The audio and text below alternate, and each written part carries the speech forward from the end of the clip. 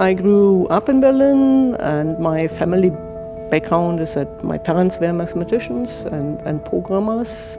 My name is Bianca Dittrich. I'm research faculty here at Perimeter Institute and I'm doing research in quantum gravity. So I grew up in East Berlin and so very near the wall.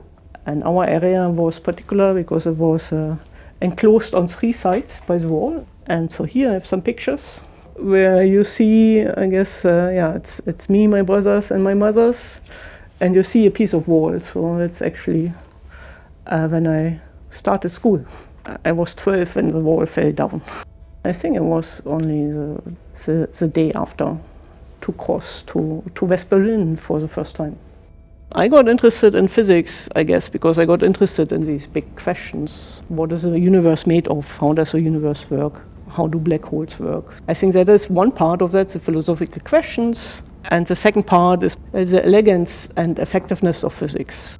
So you explain basically all natural phenomena, or almost all, by a few principles.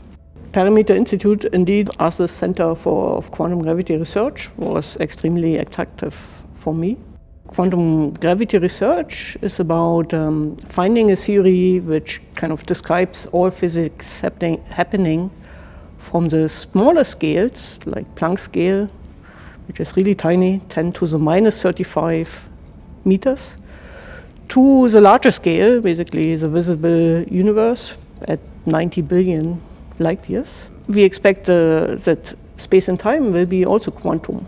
And so it's really the exploration of the quantum properties of space and time, which quantum gravity is about. Well, what we hope for is that gives us a nice unified theory and explains also puzzles which we have in the current series. For instance, what happens at the center of black holes, or how did the universe begin.